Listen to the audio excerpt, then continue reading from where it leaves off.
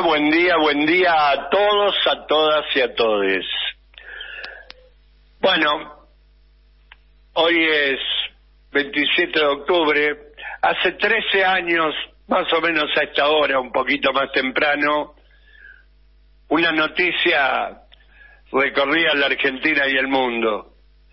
Partía a la tierra sin mal el querido compañero Néstor Kirchner. Lo personal, recuerdo que estaba haciendo una nota en Canal 26, me comunicaron el fallecimiento de Néstor al aire y la verdad no pude seguir hablando, esto me, me partió en cuatro.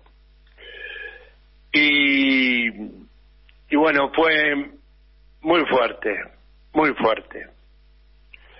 Hoy, a 13 años vista, la FTV Miles hace un plenario en el barrio del Once, 400 delegados de todo el país.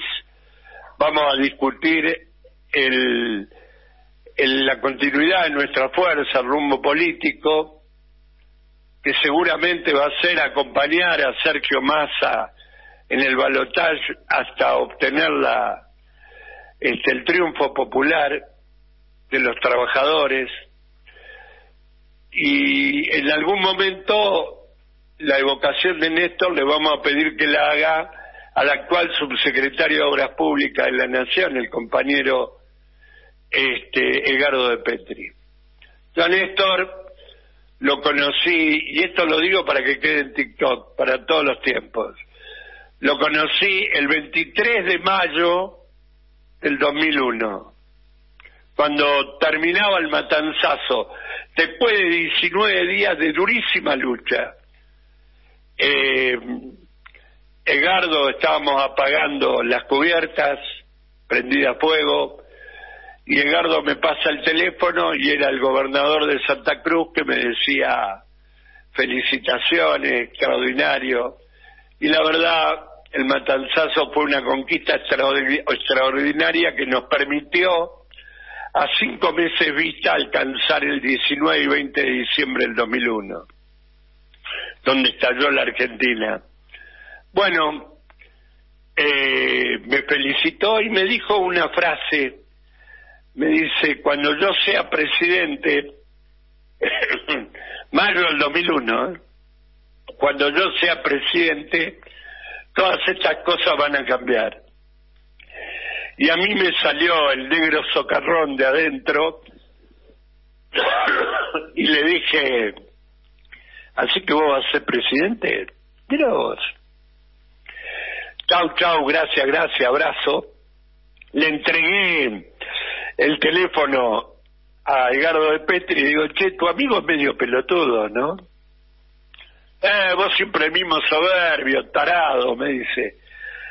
¿Por qué? Y porque me dijo que va a ser presidente. Así lo conocí a Kirchner. 23 de mayo del 2001 a nosotros se nos derrumbó algún proyecto que teníamos con la CTA y siguiéndolo a Gardo lo acompañé toda la campaña electoral. Y en la campaña electoral este me fui enamorando del tipo, pero no mucho, no mucho. Eh, hasta que bueno, le cubrimos Merlo con 700 fiscales, ganamos la elección, en realidad la perdimos, la ganó Menem, pero Menem después se fugó. Y llega el día de la jura, escuchen esto que no tiene desperdicio. Llega el día de la jura y el día antes me llama Néstor Kirchner y me dice, Luis, ¿podés venir a mi jura vestido de piquetero? Y yo digo, pero vos estás en pedo. Yo profesor, egresado del Instituto Manuel Dorrego de Morón, digo, ¿Cómo, cómo voy vestido de piquetero? Vení, por favor. Bueno, me fui con el gorrito, la pechera, un palo. ¿Y qué hizo Néstor Kirchner? Me sentó entre el cardenal Bergoglio, que estaba a mi derecha, y a la izquierda el jefe del ejército, el general Eduardo Brinzoni. Y me hacía la ve de la victoria y me señalaba con el dedo y yo en el principal palco del Congreso. y yo para adentro mío me decía, este es un hijo de puta, pero es nuestro hijo de puta. Ese día, Néstor Kirchner pasó a retiro 40 oficiales superiores de la Fuerza Armada que comulgaban con el consenso de Washington. ¡Bum! Le dio una patada en el culo y los echó a todos a la mierda. Ese día me enamoré perdidamente de Néstor Kirchner.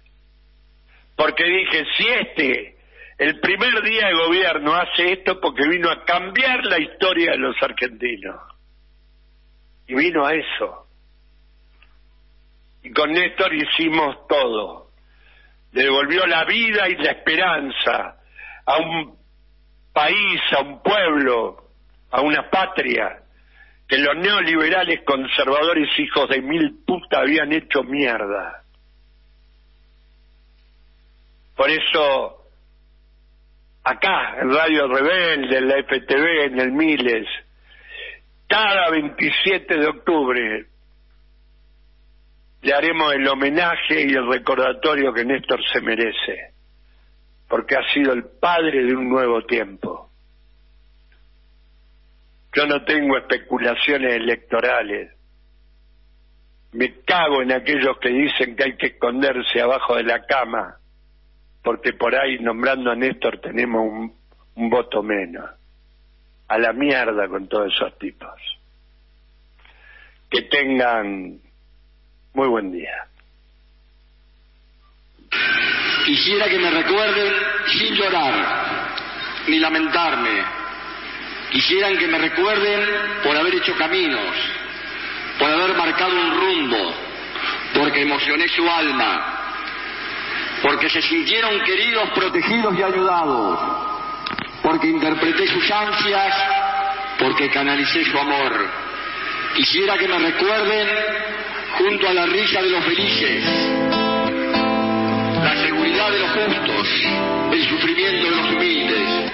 Quisiera que me recuerden con piedad por mis errores, con comprensión por mis debilidades, con cariño por mis virtudes. Si no es así, prefiero el olvido.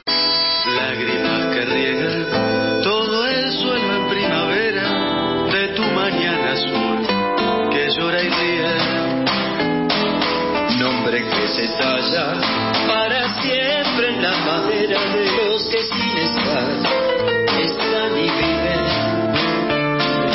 Voces que te nombran y se aferran al color de esa insolencia alegre que inventaste. Ríos, muchedumbre de un subsuelo que volvió para quedarse acá